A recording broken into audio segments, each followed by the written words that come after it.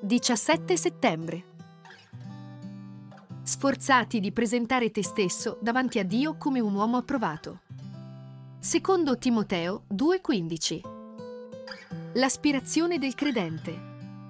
I desideri presenti nel cuore di una persona sono molto importanti, poiché finiscono con il condizionare la sua esistenza.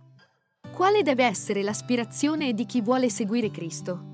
Chi ama veramente il Signore ha come unico fine quello di piacere a Lui in ogni ambito, nel rapporto con se stesso, nella vita familiare, in quella lavorativa, nelle relazioni con le altre persone.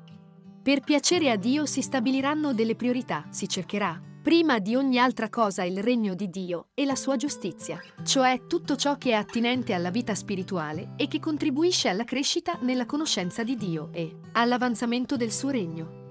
Per piacere a Dio non si preoccuperà delle opinioni degli altri. Spesso, infatti, la scelta di piacere a Dio si rivela impopolare e non incontra il favore delle persone che ci sono vicino. Chi vuole piacere al Signore, infine, non si lascerà scoraggiare da prove e difficoltà che prima o poi ogni persona incontra sul proprio cammino, ma resterà saldo nella grazia di Dio, consapevole che tutte le cose cooperano al bene di quelli che amano Dio. Qual è la tua aspirazione? Studiati di piacere a Dio e scoprirai la gioia dell'approvazione divina. Iscriviti alla newsletter per ricevere meditazioni ed aggiornamenti.